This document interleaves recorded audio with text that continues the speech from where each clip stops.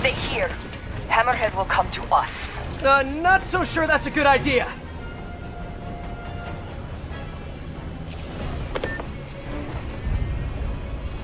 Changing position. Don't mind me. Just keep doing what you're doing.